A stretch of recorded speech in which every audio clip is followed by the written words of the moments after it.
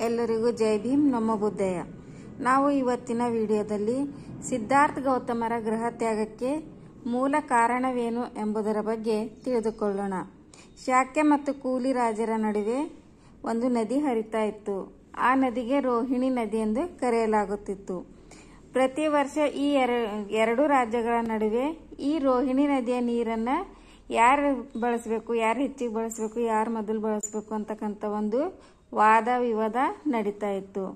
ಇದು ವಾದ ವಿವಾದ ಏನಾಯ್ತು ಅಂದ್ರೆ ಸಿದ್ಧಾರ್ಥ ಗೌತಮರು ಇಪ್ಪತ್ತೊಂಬತ್ತನೇ ವಯಸ್ಸಿನವರಿದ್ದಾಗ ಒಂದು ಯುದ್ಧ ಮಾಡುವ ಒಂದು ಸಂಭವ ಬಂದು ಎಡೆ ಮಾಡಿಕೊಡ್ತದೆ ಯುದ್ಧಕ್ಕೆ ಎಡೆ ಮಾಡಿಕೊಡ್ತದೆ ಆವಾಗ ಶಾಖ್ಯ ಸಂಘದ ಸೇನಾಪತಿ ಏನು ಮಾಡ್ತಾರೆ, ನಾವು ಎಷ್ಟು ದಿನ ಅಂತ ಇದೇ ರೀತಿ ವಾದ ವಿವಾದ ಮಾಡೋಣ. ನಾವು ಕೂಲಿ ರಾಜರ ಮೇಲೆ ಏನು ಮಾಡರಿ, ಯುದ್ಧ ಮಾಡರಿ ಅಂತಕ್ಕಂಥ ಒಂದು ನಿರ್ಧಾರವನ್ನು ತೆಗೆದುಕೊಳ್ಳುತ್ತಾನೆ. ಈ ಒಂದು ಯುದ್ಧದ ಒಂದು ವಿಷಯನ್ನ ಒಂದು ಸಭೆಯಲ್ಲಿ ಕರೆದು ಎಲ್ಲರ ಒಂದು ಶಾಖ್ಯ ಸಂಘದ ಸದಸ್ಯರ ಅನುಮತಿಯನ್ನು ಪಡೆಯಲು ಒಂದು ಸಭೆಯನ್ನು ಕರೆಯುತ್ತಾನೆ. ಈ ಸಭೆಯಲ್ಲಿ ಶಾಖ್ಯ ಸಂಘದ ಪ್ರತಿಯೊಬ್ಬ ಸದಸ್ಯರು ಯುದ್ಧಕ್ಕೆ ಒಪ್ಪಿಗೆಯನ್ನು ಸೂಚಿಸುತ್ತಾರೆ. ಆದರೆ ಸಿದ್ಧಾರ್ಥ ಗೌತಮ ಮಾತ್ರ ಯುದ್ಧ ಬೇಡ ಅಂತಕ್ಕಂಥ ಒಂದು ವಿಚಾರವನ್ನು ಇಕ್ತಾರೆ. ಯಾಕಂದರೆ ಯುದ್ಧ ಮಾಡೋದ್ರಲಿಂದ ಶಾಕ್ಯ ರಾಜ್ಯದ ಮತ್ತು ಕೂಲಿ ರಾಜ್ಯದ ಎರಡು ಕಡೆಯಿಂದ ಸೈನಿಕರ ಒಂದು ಜೀವದ ಹಾನಿಯಾಗುತ್ತದೆ. ಇದರಿಂದ ಏನು ಲಾಭ ಇಲ್ಲ ಯುದ್ಧದಿಂದ ಅಂತಕ್ಕಂಥ ಒಂದು ವಿಚಾರವನ್ನು ಇಟ್ಕೊಂಡು ಅವರು ಯುದ್ಧ ಬೇಡ ಅಂತಕ್ಕಂಥ ಒಂದು ನಿರ್ಧಾರವನ್ನು ಹೇಳ್ತಾರೆ. ಯುದ್ಧದ ಬದಲಿಗೆ ಏನು ಮಾಡರಿ? ಶಾಖೆ ಕಡೆಯಿಂದ ಇಬ್ಬರು ಸದಸ್ಯರನ್ನು ಮತ್ತು ಕೂಲಿ ರಾಜರ ಕಡೆಯಿಂದ ಇಬ್ಬರು ಸದಸ್ಯರನ್ನು ಆಯ್ಕೆ ಮಾಡಿ, ಈ ನಾಲ್ಕು ಜನ ಸೇರಿ ಒಬ್ಬ ಸದಸ್ಯರನ್ನು ಆಯ್ಕೆ ಮಾಡಿ, ನಾವು ಏನು ಮಾಡಿರಿ? ಚರ್ಚೆ ಮುಖಾಂತರ ಈ ಒಂದು ಸಮಸ್ಯೆಯ ಒಂದು ನಿವಾರಣೆ ಮಾಡರಿ ಅಂತಕ್ಕಂಥ ಒಂದು ವಿಚಾರವನ್ನ ಸಭೆಯ ಮುಂದೆ ಸಿದ್ಧಾರ್ಥ ಗೌತಮರು ಇಡ್ತಾರೆ. ಆದರೆ ಇದನ್ನ ಬಹುಮತಕ್ಕೆ ಅಂದ್ರೆ ಯಾರು ಇದನ್ನ ಒಪ್ಕೋತೀರಿ ಅಂತಂದು ಸಭೆಯಲ್ಲಿ ಈ ವಿಷಯ ನಿಕ್ಕಿದಾಗ ಹೆಚ್ಚಿನ ಜನ ಯುದ್ಧ ಕಡಿಮೆ ತಮ್ಮ ಒಲವನ್ನು ತೋರಿಸ್ತಾರೆ. ಈ ಒಂದು ಸಿದ್ಧಾರ್ಥ ಗೌತಮರ ಒಂದು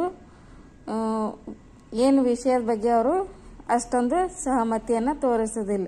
ಅದಕ್ಕಾಗಿ ಸೇನಾಪತಿ ಏನು ಮಾಡ್ತಾರೆ? ಯುದ್ಧ ಮಾಡಲಿಕ್ಕೆ ನಿರ್ಧಾರ ಮಾಡ್ತಾರೆ. ಆದರೆ ಸಿದ್ಧಾರ್ಥ ಗೌತಮರು ಯುದ್ಧ ಮಾಡೋದು ಬೇಡ. ನೀವು ಬೇಕಾದರೆ ಯುದ್ಧ ಮಾಡಿ. ನಾನಂತೂ ಈ ಯುದ್ಧದಲ್ಲಿ ಭಾಗವಹಿಸುವುದಿಲ್ಲ ಅಂತಕ್ಕಂಥ ಒಂದು ನಿರ್ಧಾರವನ್ನು ತಿಳಿಸ್ತಾರೆ. ಆ ಸಮಯದಲ್ಲಿ ಸೇನಾಪತಿ ಸಿದ್ಧಾರ್ಥ ಗೌತಮರಿಗೆ ಶಾಕ್ಯ ಸಂಘದ ಸದಸ್ಯನಾಗುವಾಗ ತಾನು ಪಡೆದುಕೊಂಡಂತಹ ಒಂದು ನಿಯಮ ಅಥವಾ ಷರತ್ತುಗಳ ಬಗ್ಗೆ ಅವ್ರಿಗೆ ಏನು ಮಾಡ್ತಾರೆ? ನೆನಪಿಸ್ಕೊಡ್ತಾರೆ. ಅವಾಗ ಸಿದ್ಧಾರ್ಥ ಗೌತಮರು ಹೇಳ್ತಾರೆ, ನಾನು ಶಾಕ್ಯ ರಾಜ್ಯದು ತನು ಮನ ಧನದಿಂದ ರಕ್ಷಣೆ ಮಾಡೋ ಒಂದು ಪ್ರಯತ್ನನೇ ಮಾಡ್ತಾ ಇದ್ದೀನಿ. ಯುದ್ಧದಿಂದ ಏನೂ ಲಾಭ ಇಲ್ಲ. ಅದಕ್ಕಾಗಿ ಶಾಂತಿಯಿಂದ, ಮಾತುಕತೆಯಿಂದನೇ ನಾವು ಈ ಸಮಸ್ಯೆನ ಬಗೆಹರಿಸೋಣ ಅಂತಕ್ಕಂಥ ಮಾತನ್ನ ಹೇಳ್ತಾರೆ. ಆದ್ರೂ ಸಹ ಸೇನಾಪತಿ ಕೇಳಲ್ಲ. ಹಾಗಾಗಿ ನೀವು ಒಂದು ವೇಳೆ ಯುದ್ಧಕ್ಕೆ ನಿರಾಕರಣೆ ಮಾಡಿದಾಗ, ಆ ನಿನ್ನ ಶಾಖೆ ಸಂಘ ಸದಸ್ಯನಾಗೋ ಟೈಮಿನಾಗ ಶಾಖೆ ಸಂಘದ ಒಂದು ನಿರ್ಣಯಗಳಿಗೆ ವಿರೋಧ ಮಾಡಿದಾಗ ಯಾವ ರೀತಿ ನೀವು ಶಿಕ್ಷೆಗೆ ಒಳಗಾಯ್ತಿ ಅಂತಕ್ಕಂಥದ್ದು ನೀನು ನೆನಪು ಮಾಡ್ಕೊ.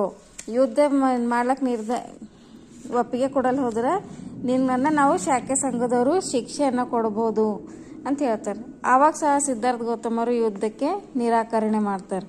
ಆವಾಗ ಶಾಖೆ ಸಂಘದವರು ಸಿದ್ಧಾರ್ಥ ಗೌತಮರ ಮುಂದೆ ಮೂರು ಪ್ರಕಾರದ ಒಂದು ಶಿಕ್ಷೆ ರೂಪದಲ್ಲಿ ಮೂರು ಪ್ರಕಾರ ಈ ರೀತಿ ಇಕ್ತಾರೆ. ಮೊದಲನೇದು ಶಾಖೆ ಸಂಘ ಏನು ಮಾಡ್ತಾ ನಿನ್ನ ಮನೆತನೆಯ. ಅಂದರೆ ಸಿದ್ಧಾರ್ಥ ಗೌತಮರ ಒಂದು ಕುಟುಂಬವನ್ನು ಸಾಮೂಹಿಕವಾಗಿ ಬಹಿಷ್ಕಾರ ಹಾಕೋದು.